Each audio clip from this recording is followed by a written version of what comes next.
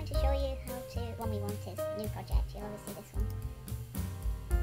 So click on new project. Now the thing you need to do is to give your project a name. I'm going to call mine Kotlin 1 and notice how this is automatically built run Kotlin. So select from the list if you don't have one installed. Okay, so then you just click on the next button.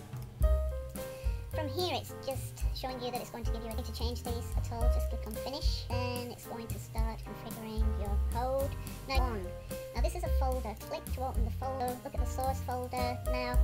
So click on main, click on this, and there we have our we're going to execute today. Now if you double click on this, you'll see it's already been given for you, and you can just start from use run and run from here, or you can use a shortcut on the keyboard.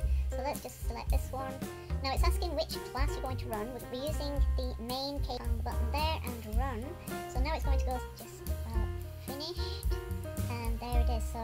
console window and there is the output, hello world, uh, libraries together and the Java archives and is executed.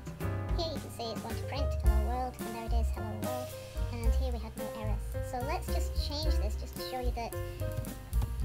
So let's print hello Kotlin and now this is a new new code so it will need to be through the process. At the bottom you can see it's building, you'll see the, the progress bar and any output messages. So at the minute it's compiling the code,